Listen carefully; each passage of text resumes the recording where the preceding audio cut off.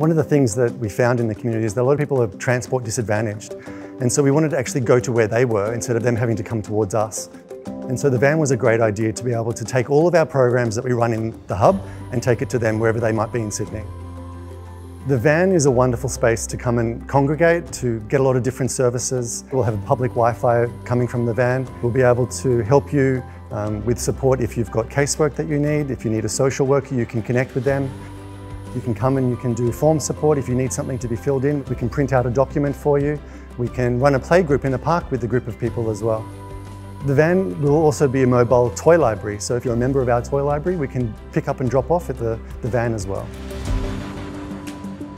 The van fills the gaps in people's lives that they might have things that they need that uh, everyone else takes for granted, and we'll be there to help you with those.